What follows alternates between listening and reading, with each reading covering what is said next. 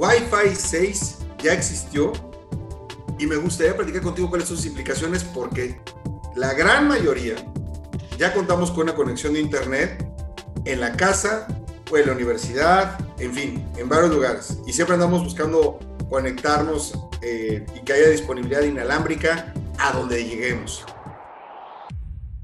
Pero así como las conexiones móviles de internet sí están evolucionando, las redes inalámbricas también. Y cada generación de Wi-Fi proporciona una mayor velocidad de transferencia de datos. Wi-Fi 6 es una de las más recientes versiones y es el último estándar para las conexiones inalámbricas que, entre muchas otras cosas, hace una mejor eh, gestión del manejo de los dispositivos y cuenta con una velocidad de carga de hasta 10 gigabits por segundo. Si quieres saber más de estos temas técnicos, tú entra a www.soyfernando.com porque ahí te explico otra cosa que 6G. Pero ahorita hablemos de Wi-Fi. Wi-Fi 6, eh, tú vas a conseguir un 40% más de velocidad. Es diferente a 5G o 6G, ¿ok? Esto de tal cual es la velocidad de tu conexión inalámbrica. Y en la versión anterior se reduce la latencia. Es decir, eh, las versiones anteriores de Wi-Fi se tardaba más tiempo a la hora que tú le pedías alguna información. Y ahora con las nuevas versiones, 75% más rápido. Recuerda, la latencia, de nuevo, es el tiempo de respuesta entre tu teléfono y, llegar hasta el servidor de Internet para que te conteste y que te regrese el contenido, que haga algo tu dispositivo. El Wi-Fi 6 va a tener muchas ventajas que le van a permitir a los usuarios tener una mejor experiencia navegando o utilizando los servicios de Internet. Por ejemplo, menor consumo de energía. La duración de la batería de los dispositivos móviles va a ser mucho mayor para los dispositivos que accedan a una red Wi-Fi 6.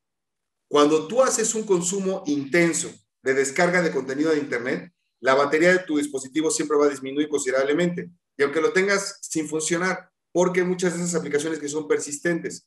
Entonces, el tema de Wi-Fi 6 va a ayudar muchísimo, va a ser un factor crítico porque los dispositivos van a tener un bajo consumo de batería y los componentes, por ejemplo, como el Internet de las Cosas, los sensores que van a estar en tu casa o en los automóviles y demás, pues van a utilizar más estos escenarios de Wi-Fi 6, tanto en casa como en los corporativos o en aplicaciones industriales.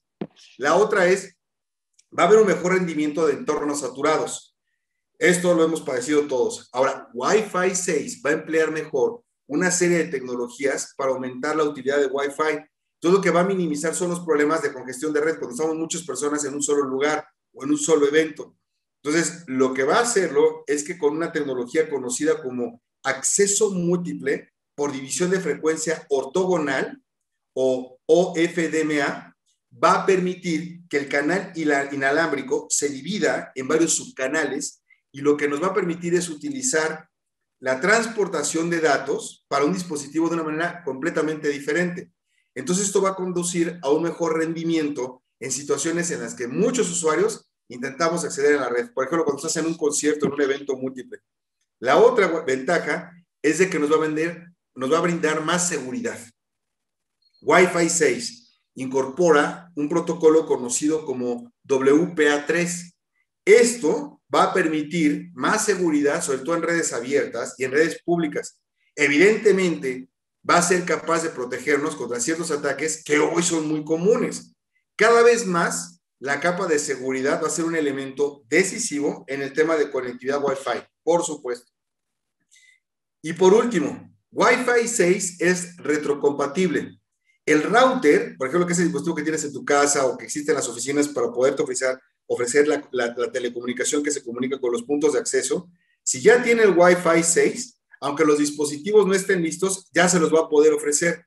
Entonces va a ser, digamos que el, ingrediente y el ingrediente esencial para que Wi-Fi 6 esté listo va a tener que ser el router. Todas las conexiones inalámbricas que tengan dispositivos que no, no estén listos van a mejorar de todas maneras su experiencia. Ahora, mucho ojo, tu proveedor de Internet puede ofrecerte una gran velocidad, pero si tu access point es viejo, entonces tú vas a desaprovechar la conexión de Internet. Entonces busque, busquen ya actualizar sus dispositivos a que ya cumplan con Wi-Fi 6. ¿Quieres más información? Recuerda, entra a www.soyfernando.com y ahí te voy a dar más datos, o sígueme en YouTube, donde puedes ver los videos, en Fernando Thompson, ahí me encuentras en YouTube en el canal, y ahí te doy todos los datos que necesites. Nos vemos la próxima semana.